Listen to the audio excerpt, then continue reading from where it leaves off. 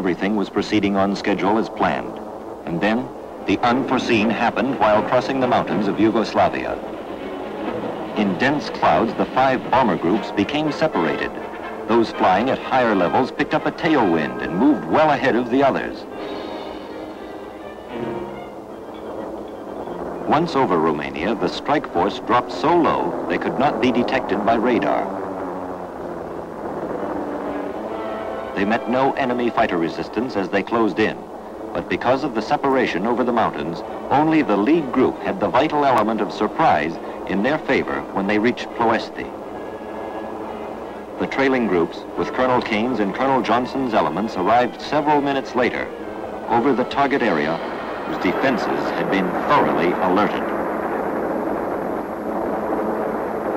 Flames higher than their aircraft added to the enemy's point-blank attack. But rather than turn back from such a vital mission, Kane and Johnson elected to lead their planes through the blazing inferno and across the specified target at minimum altitude. Some planes were hit miles before their target, but kept flying forward into the flames even though their punctured fuel tanks were streaming gasoline.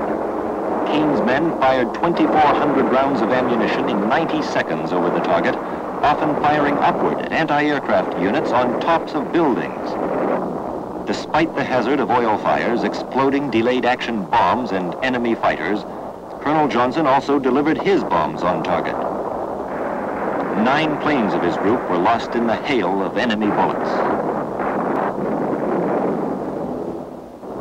At one time, three separate bomb groups were over the target simultaneously, flying in different directions at low altitude. Enemy observers said it was the greatest exhibition of flying skill they had ever seen.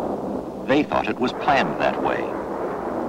41 planes were lost in the mission, but the vital Ploesti oil field had been severely crippled. With not enough fuel to return to Benghazi, Colonel Kane was forced to lead his group to a landing on the island of Cyprus in the Mediterranean.